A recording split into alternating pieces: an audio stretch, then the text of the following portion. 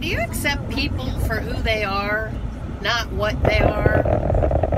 I um try to treat all people the same because people are people. I don't care if you're black, white, red, green, male, female, gay, straight. You're still a human being, and and I love you.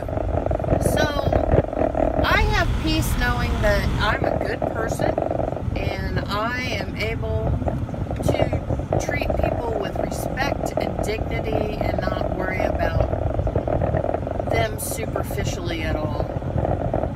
So I hope you have peace with the same thing that you're able to accept people for who they are and not what they have to offer you. Just let them be and help them to become a better person, which will help you be a better person. This is Lisa, your stylist, with a Peace of Me moment.